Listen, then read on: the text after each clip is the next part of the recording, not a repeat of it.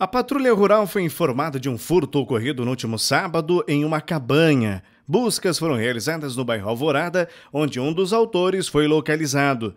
Ele assumiu a autoria do furto e identificou quem teria participado e onde estariam a motocicleta e objetos furtados. Sendo assim, a Polícia Militar recuperou duas motosserras e uma motocicleta Suzuki 150.